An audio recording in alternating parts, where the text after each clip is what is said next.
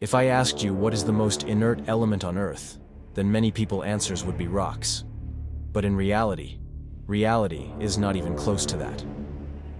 Professor Pereda, PhD in geomorphology, has been conducting groundbreaking studies in the field of acoustic geology for years. Based in La Palma in the Canary Islands since the cataclysmic eruption of 2021, she and her team recently recorded strange sounds coming from juvenile volcanic rocks. Wait until the end of the video, we will share an extract of the recording with you.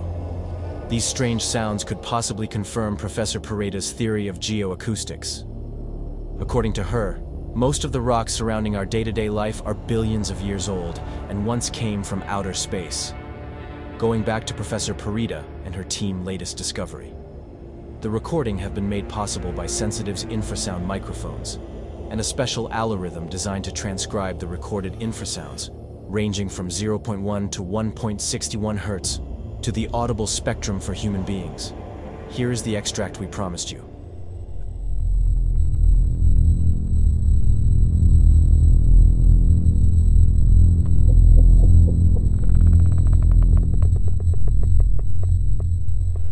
A geologist lately stated that the rocks sometimes weirdly sounded like eerie magnetic whales, screeching in pain.